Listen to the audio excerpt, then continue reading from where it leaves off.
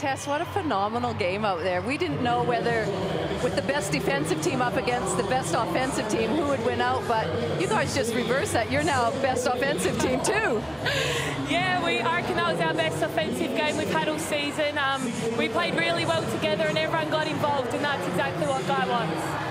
Well, there was. There was a lot of scoring. Um, the, the, relationship between Chelsea Poppins and Bec Allen was phenomenal on that screen and roll. You could just sort of look and watch. Yeah, it was really good. They were they were really on page today in everything they did. So yeah, it was really good, really good to watch. One of the things that I'm so impressed with, Tess, is how quickly you guys have picked up the system that Guy has asked you to at this stage of the season. It looks like you have such a good feel of that shuffle offense. Yeah, well, we're really disciplined in it, which Guy demands of us. I think um, him demanding that of us, we have been able to pick it up really well. And um, people are really starting to find their shots in the offense. And we had numerous contributors tonight, so that's exactly what he wants. So it's working.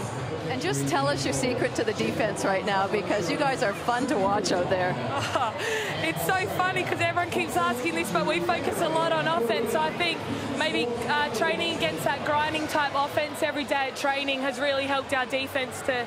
Um, yeah, to play for the full 24 seconds, and yeah, we're doing really well, so it's good. Well, it was great to watch you, Tess. Well done, fantastic game, and good luck for the next couple of weeks. Thanks, Lori. Thank you very much.